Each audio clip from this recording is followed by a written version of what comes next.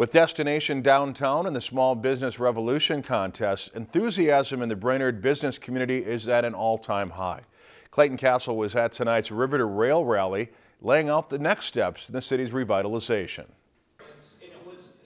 It's been two weeks since Brainerd found out it was not in the top five in the Small Business Revolution contest, but tonight the River to Rail rally kicked off the next step of the downtown Brainerd revitalization. We're about supporting the people that are doing things in town.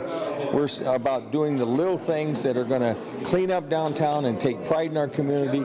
And we think as part of that, if we have a vision for a bigger Brainerd and a better environment, that that will come over time. The event included updates from area businesses and organizations on what they're doing to improve the community, which was followed by a brainstorming session creating ideas and dreams of a better Brainerd. We had more ideas than we probably know what to do with at this point, but we have them all recorded.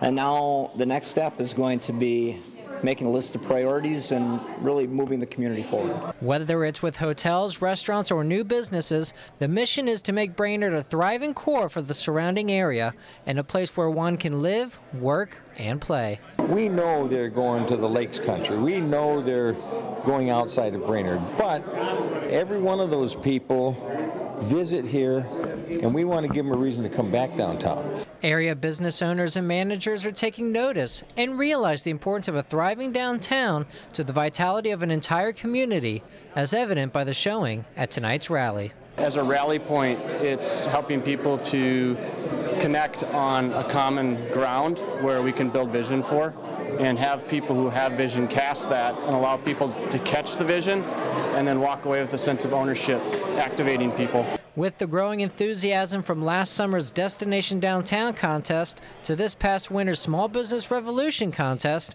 community leaders see a bright future ahead for Brainerd. 250 people, instead of posting on social media, actually came out and started dreaming about the future, and I think that bodes very well for the, the future of the community. Reporting in Brainerd, Clayton Castle, Lakeland News.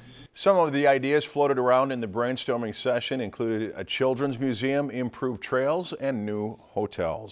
If you enjoyed this segment of Lakeland News, please consider making a tax-deductible contribution to Lakeland PBS.